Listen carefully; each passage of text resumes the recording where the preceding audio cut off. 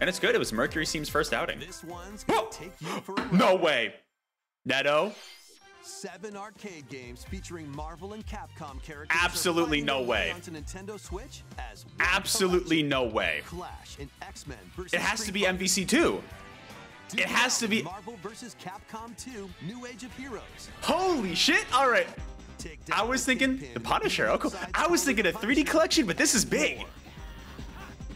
Marvel's Capcom 2, X-Men. That's huge. Hit up training mode to polish your We got both MVC games, the first two. Select That's huge. mode to challenge rivals around the world. MVC 2. It's back. That's big. Or play co-op. in All right, not a 3D fighting game collection, but to be honest, this is more hype. This is a bigger deal. museum to view artwork. Ooh, look at that artwork. music from each I want to take you for a ride. Ooh. Marvel versus Oh, they know. That's sick. Available this year? Nintendo Switch this year. Let's go. They know how good that song is. Love that song.